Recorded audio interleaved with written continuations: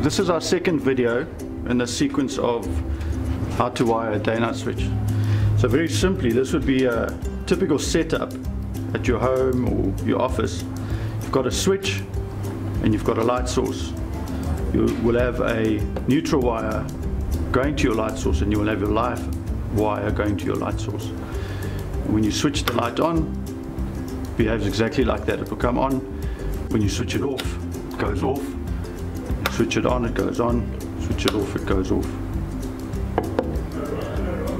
So this is a day-night switch with a mounting bracket. You can see what it looks like. There's different types of day-night switches, but as mentioned in the first video, they all do exactly the same thing essentially.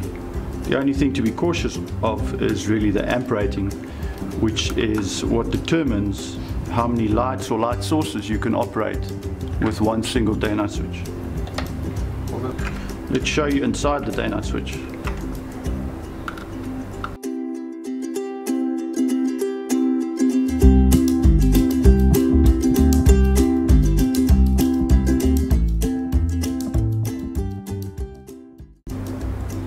Here we can see the terminals.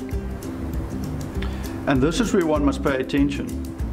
Because this, this is where one could easily get confused if you've never wired a day-night switch before. So your first terminal on the left-hand side is a terminal marked LI. Your middle terminal has an N for neutral. And the third and last terminal has a LO. LI stands for load in, N is for neutral, and L is for load out.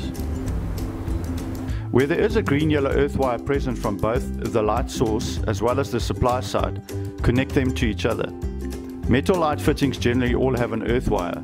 On the other hand, PVC light fittings generally don't have an earth wire. Also note that the load-in wire in some instances might be a brown wire in color and the neutral wire blue in color. Where the confusion normally happens is in the traditional wiring you have your three wires, alive, neutral and earth. So we tend to get confused thinking that there's three terminals, one representing each wire. I'm going to show you how to wire this correctly. So make sure you have a nice small flat point electrical screwdriver because these terminals are very small and I've got my nice Stier multi-function screwdriver here. Okay, so back to the terminals. So LI live in is exactly that. It's a single wire into one terminal.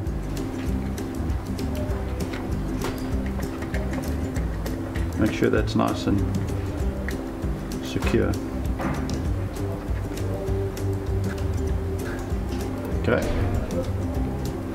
We're going to fit the load out wire to the last terminal. That's the terminal that is going straight to the light source. So this is what's important to note is that the day-night switch actually serves as a switch. So it just breaks and switches the load to the light source essentially. In terms of the neutral, these are both neutral wires, but they will be common. What we mean by that is we're going to join them. now we've got that joined. Okay, and we're going to fit that into the middle terminal. So that's your load in on this terminal, which comes from the light switch. This is your load out, which goes to the light source. This is your neutral, which is the common shared. Now, we're going to flip this over.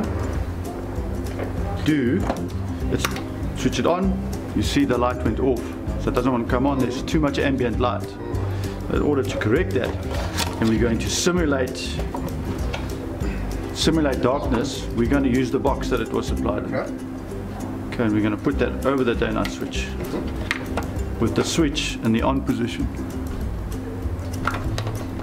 It will take approximately 30 to 45 seconds for the relay to switch. There we are. Okay, now, just to finish off, to get the point across, is if I take the box off, back to daylight, sorry, back to daylight, the lux sensor will sense the ambient lights and switch it off in the same reverse fashion.